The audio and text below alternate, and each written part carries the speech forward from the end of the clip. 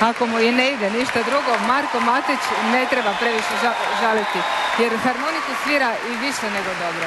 Njegov natjecateljski staž traje sada već sedam godina i u tom je vremenu osvojio toliko prvih nagrada da im ni broja ne zna. Posebno dojmljivo u njegovoj biografiji izgledaju dva Grand Prix, što ih je zaslužio u Sidneju. Harmoniku uči na glazbenoj školi Zlatko Baloković kod profesora Marijana Krajine, koji nažalost večeras nije u dvorani Lisinski, nego u mislima bodri svog pulena iz daleke Litve. Godinu dana ranije dogovoren nastup nije se mogao odgađati, pa je Marko ostao lišen one zadnje trenerove sugestije prije izlaska na scenu. Za svoj nastup Marko je odabrao stavak iz klasičnog koncerta Mikolaja Majkjusijaka, mladog Poljaka, koji dogodine puni 30. harmonikaša i skladatelja. Sudeći po dvadesetak nagrada što ih je osvojio kao reproduktivni umjetnik i kao skladatelj, uspješan je na oba područja.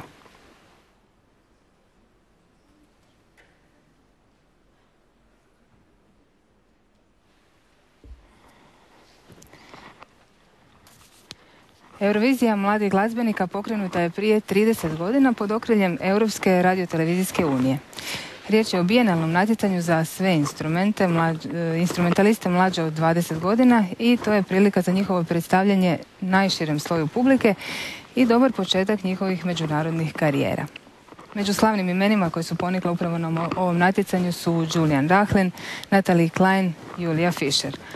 Posljednjih godina finale se redovito održava u Beču na otvorenoj pozornici ispred gradske vijećnice uz nazočnost i potporu 45 tisuća posjetitelja. Je...